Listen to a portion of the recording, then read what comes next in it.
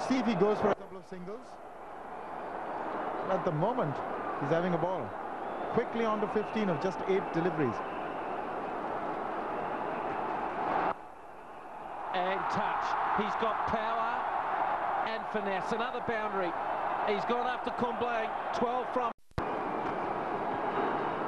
of just nine balls and finally there's a little passion in the game. Afridi wants to bat, Anil Kumble wants to bat. Look at this. Let them have some fun, boys. Let the umpires, let them go.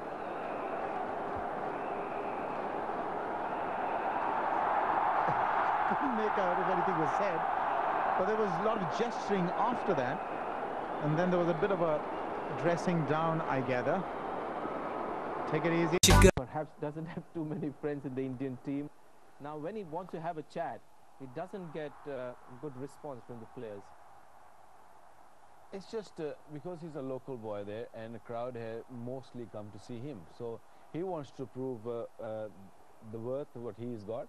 And uh, Anil Kumble, another personality, he's, he's done really well in the in the world arena. So he doesn't really like anything, bits and pieces. But that one I thought was a bit too much, and I hope a referee sitting there will be watching that. Simon Taufel was quick on the job just to make sure that it didn't go out of hand. And after that, nothing happened. But uh, difficult to keep him quiet, Shahid Afridi. There's nothing in it. They were probably asking each other where they're going for dinner tonight. I all. don't think so. yeah. But I remember Inzamam telling me about Anil Kumble.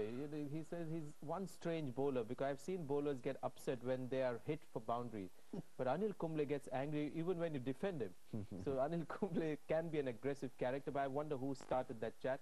But fortunately for all of us, it stopped at the right time.